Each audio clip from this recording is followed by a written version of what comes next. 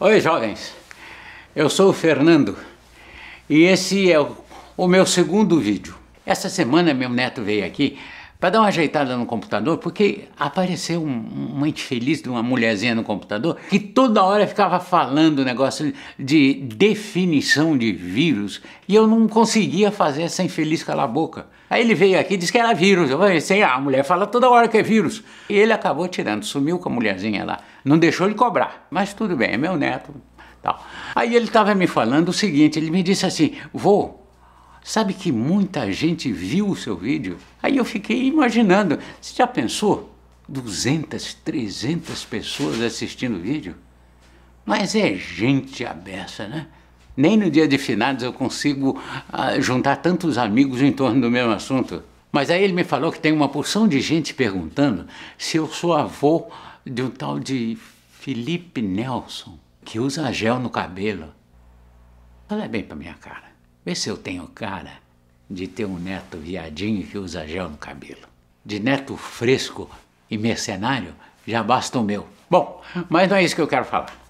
Vamos ao que interessa. É que eu tenho visto na internet uma molecada aí, metida sabichão, sabe? Dono da verdade, sabe tudo, falando, sabe o quê?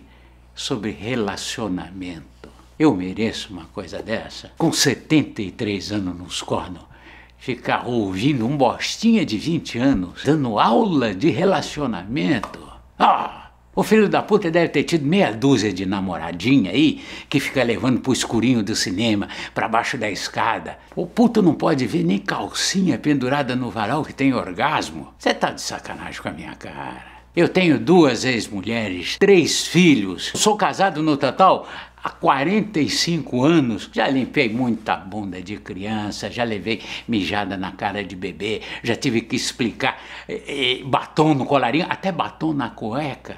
E agora tenho que ouvir um bostinha de 20 anos vir dar conselho sobre relacionamento? Ah, vai te catar, viadinho. Vou começar do começo. Você está namorando uma gatinha linda, você está super apaixonado e ela te dá um pé na bunda. E aí você desaba, eu vou morrer, eu vou cortar os pulsos. Vai morrer porra nenhuma, sua bichona. Eu sei que quando você leva um pé na bunda, dói, dói, dói mais fácil. Isso é que nem cólica de gases, sabe? Que dá aquele nó na barriga, mas aí você dá um peido, acabou. Passa. Para com essa frescura de que vai morrer de amor. Ninguém morre por amor. Eu sim, eu poderia morrer de amor, mas também, na minha idade, eu podia morrer de qualquer merda, até engasgado com semente de uva passa. Agora, senta a bunda aí nessa merda desse sofá, que eu vou falar umas coisinhas para você que você não sabe o que, que é ainda, mas você ainda vai saber. É sobre casamento. Casamento é, é como. Casamento é com, como camarão, por exemplo. Você adora camarão. Por você, você comia camarão todo dia. Você gosta de empada de camarão, pastel de camarão, risoto de camarão, camarão empanado, camarão frito, camarão no espeto, mas você não mora com camarão. Hum?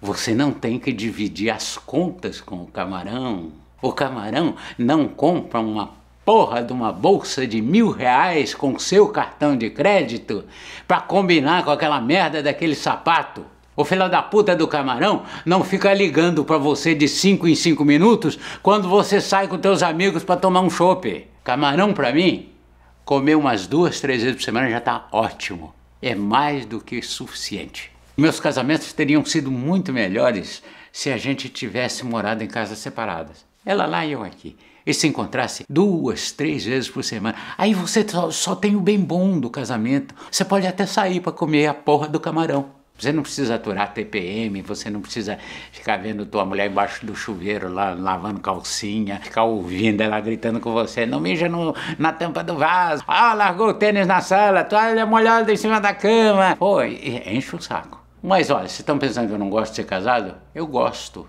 Eu gosto de ser casado. Casamento é legal. Quando você dá certo com a tua companheira. Ah, eu, se eu tivesse que casar hoje, eu não ia cometer esse erro, não. Até porque com 73 anos eu não ia aproveitar o melhor do casamento, que é o sexo. Teoricamente, na hora que você quiser. Teoricamente. Por isso, meu jovem, aproveita a vida, trabalha, estuda, namora, trepa, Se a namoradinha te deu um pé na bunda, para com esse negócio, ai, eu vou morrer de amor. Para de se lamentar, porque passa logo, passa rapidinho. E olha que antes que eu me esqueça, porque daqui a pouco eu vou ter que mijar, se você não se casou pelo menos duas vezes, não pagou pensão e nunca acordou de madrugada para abrir a porta pro imbecil do teu filho que esqueceu a merda da chave e tá lá embaixo bêbado batendo na porta da sua casa, vai dar conselho sobre relacionamento pra puta que te pariu.